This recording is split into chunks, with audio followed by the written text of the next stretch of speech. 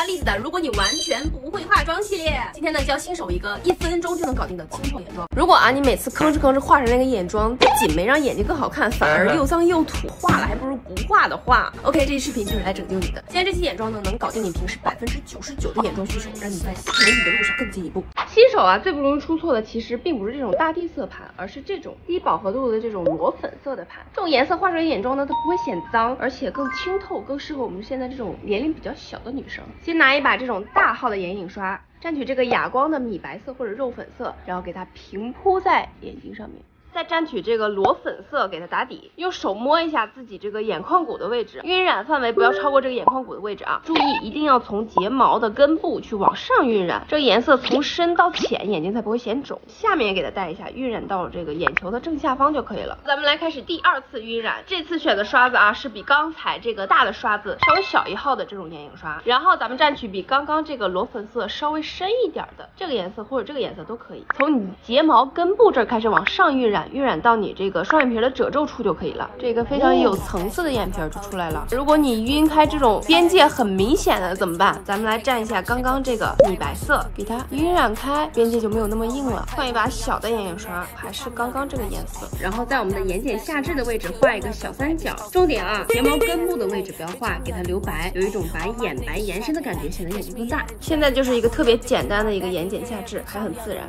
接下来再扒拉一个内眼线啊，用这样的一个。斜的刀锋刷，如果你有定妆喷雾的话，可以往上呲两下；没有的话也没事儿。蘸取你这个盘中比较深的这个颜色，大开眼睛，在内眼线这儿给它填满，一个超级自然的内眼线就出来了。眼尾，眼尾就更简单啦，眼尾你直接顺着这个眼角一拖，不用教，这不用教，你们那么聪明，看一遍就会了。然后再用它来一个卧蚕，笑，嗯，这样眯着，然后蘸一个稍微灰色的颜色，没有那么深的，看这条线对不对？拖一，拖二，拖三，再用。第一遍的这个白色裸色哑光高光提亮一下，我特别喜欢这个亮片，很闪，很好看。我们来一点点，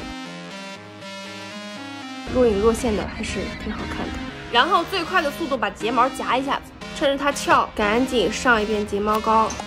我给这个眼妆取了个名字叫大白兔奶糖眼妆，真的刚好适合兔年去画，赶紧学起来吧，真的很简单。